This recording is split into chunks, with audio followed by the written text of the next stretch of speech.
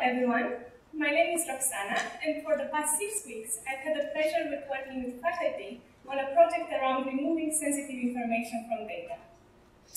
As we all know, we live in a hyper-connected society where the exchange of information is growing faster than ever before.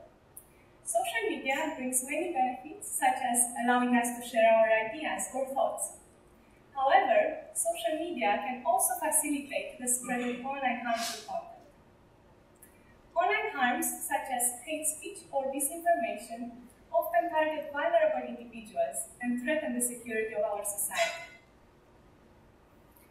In order to address this issue, the Online Safety Data Initiative is a program led by the Department for Digital, Culture, Media and Sport that aims to support companies to develop AI technology that can identify and remove harmful content online. However, in order to build AI that can perform effectively and safely in the real world, we always need access to real-world data. And with this, we may also gain access to personal information, such as names, addresses, or passwords of different individuals. And it is clear that releasing this information may put people in very unsafe situations.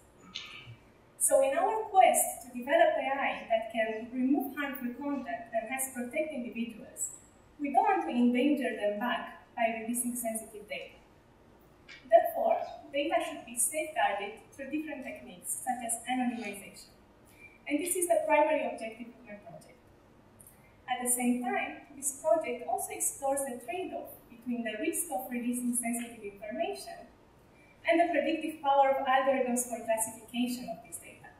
For example, we want to still be able to classify an article into child grooming or cyberbullying even after we have removed sensitive data from it. This also shows that some information should not be anonymized.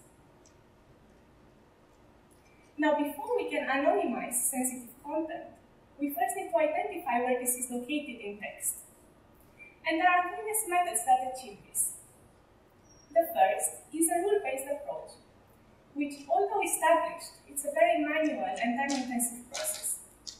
For example, in this sentence here, it is clear for a what refers to.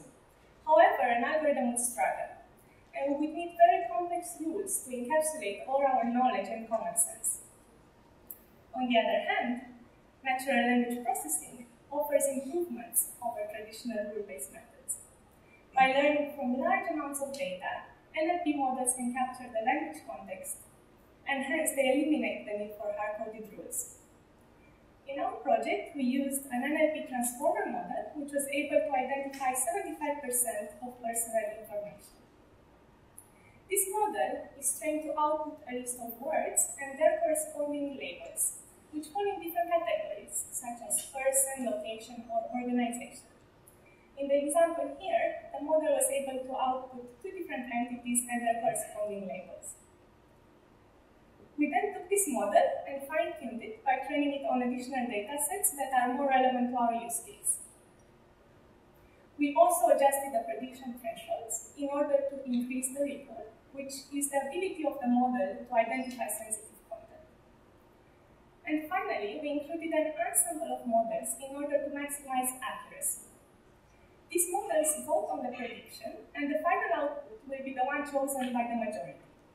In the example here, person is the label associated to the word as chosen by two out of four models.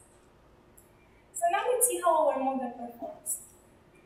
Compared to the baseline, which was able to correctly estimate 75% of sensitive content, our improved model correctly identifies 90% of personal information and that is a crucial improvement of 15%.